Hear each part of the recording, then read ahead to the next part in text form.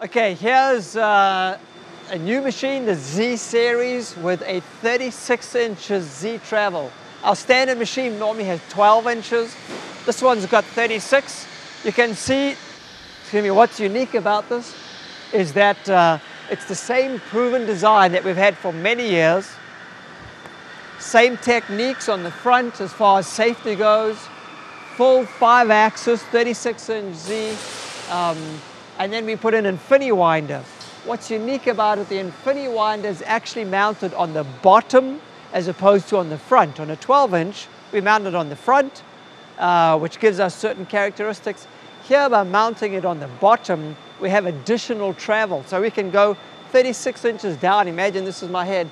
I can go all the way down a 36 inch wall and the mechanism here does not foul the actual part that you're cutting.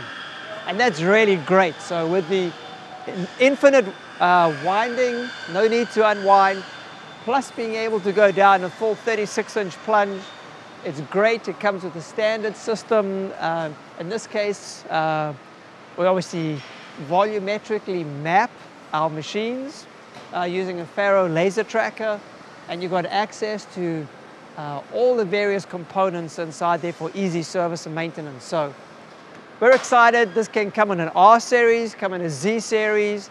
It can actually come a little longer. Um, so looking for a 36 inch Z, give us a shot. We'd love to help you.